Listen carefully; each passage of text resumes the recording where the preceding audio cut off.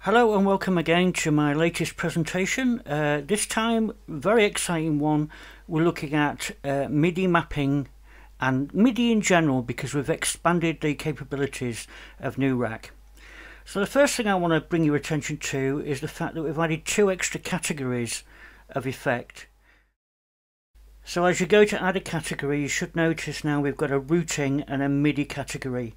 Now, if we take a look at routing, you'll notice some of the items in here are familiar, and that's because we've split up the other category and moved some of those items across to routing because they are specifically to do with routing uh, cabling, basically.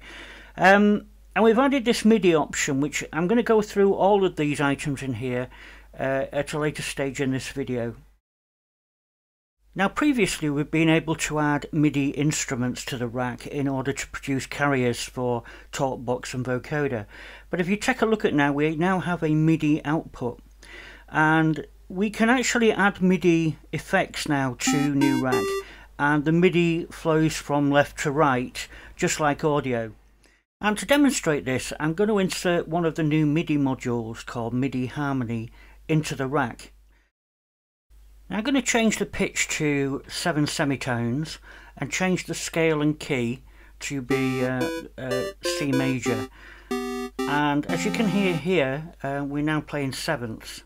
And the real nice thing now is I can add something like a reverb to the end and we can process both uh, audio and MIDI at the same time in the same rack. So essentially in AUM I've got MIDI input uh, coming into NuRack and then being uh, redirected to Quanta.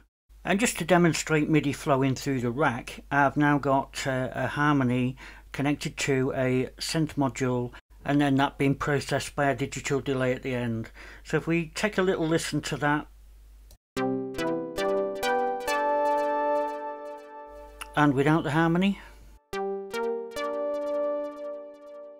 Okay, and now just to take it one step further, we're going to have a look at the MIDI randomizer, which is also a new tool in this version.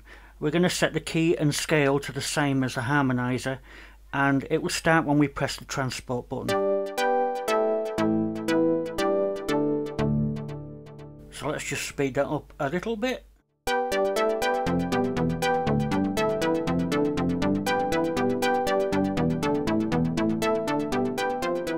And again, the important thing to note here is the MIDI is travelling from left to right through the rack and then will appear at the uh, NuRack MIDI out so it can then be passed on to something else for further processing. Now another little tool that I've added to this version is something called a MIDI monitor which is very useful for debugging the MIDI mapping which I'm going to show you in a few minutes. Uh, but if you uh, if you add uh, one of these monitor modules to the end of the rack you can see exactly what's going through it. Currently it's just note on note offs but uh, it, it's very useful for debugging. Okay, so now we, we can process MIDI data. It stands to reason that we could actually load NuRack as a MIDI processor. And uh, I'm going to use that to demonstrate uh, uh, MIDI mapping. It's probably the easiest way to, for you to visualize what's going on. Now just be aware here that the this version of NuRack here is taking its MIDI input from the MIDI processing version, which currently is empty, the rack is empty. But if we uh, open this, we can open yet another new module called MIDI Mixer, which was designed purely for uh, automation purposes. Um, now what I'm going to do is I'm going to control the uh, insert effect, which is uh, currently got um, a rack loaded um, with these knobs. So what we're going to do is we're going to send MIDI CC messages from the MIDI processing version of NuRack to control this effect. Now, most people know this gate effect. It makes quite a nice sound. But it might be that you want to adjust something like the mix or the smooth knob on the fly. Now in previous versions you could have used AUM's mapping but it's not necessarily the best way of doing things. Um, so what you can now do is if we go into interface builder and go into edit mode of interface builder when you click on a, an item within this screen, um, the tools palette will appear. So if I click on the mix knob, we get the tools palette for the mix knob. And if we click on options and select MIDI mapping, we get this new screen here. Now we've got three choices here. We can map to MIDI notes, uh, CC numbers or program changes. Now if we take a look at this uh, um, MIDI mixer up here, I'm going to try and map the knob, the pan knob of channel 1 to the mix knob. Um, now the first, just make sure that you've got your routing set up right and that you're taking input from this MIDI processing unit. Now if I come back and hit MIDI learn and then come back to the um, mixer and twist the pan knob, you'll see it's automatically assigned. And I have to hit the save button, remember to hit the save button. Now whenever we turn the MIDI pan knob, you should see the um, corresponding mix knob turn. So now let's try and map the smooth knob to the uh, fader, uh, the channel 1 fader. And you can see it's as easy as pressing the learn button, moving the fader and then pressing save.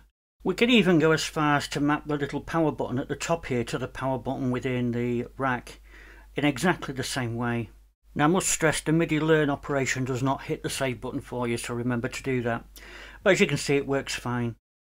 Now if we look at another example where we try to map the power button to something like a note on the keyboard um, remembering to change the input um, as I press a MIDI note uh, you'll see that it will toggle the power button on when I press the MIDI note and it will go off when I release the MIDI note. And to get around that you need to enable the toggle option and uh, save your settings and that should resolve the problem and it should just toggle the power button on and off with that MIDI note. And the great thing about that is you can actually during your performance hit MIDI notes to turn effects on and off. Now how great is that for live performance? Especially when you're using something like the Leslie simulator, we can map the fast, slow and stop keys to particular keys on the keyboard.